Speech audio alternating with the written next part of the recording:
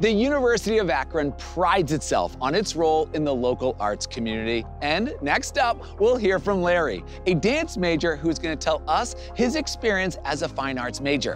Whether you want to study dance, music, or the visual arts, Akron's programs provide excellence in teaching and experiences to build confidence in your craft. Let's hear from Larry.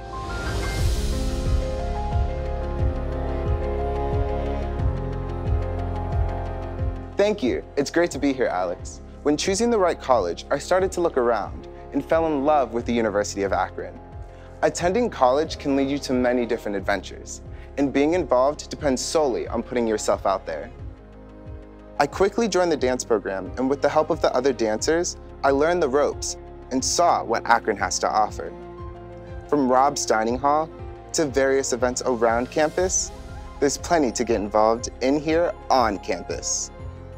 Within the dance program, I was able to join the Terpsichore Dance Club, where I got the chance to become closer with my fellow dancers and put on shows for the community, along with showcasing some of our dynamic student choreography. While attending Akron, I was able to perform in a commercial. Being able to represent the University of Akron was a fulfilling opportunity.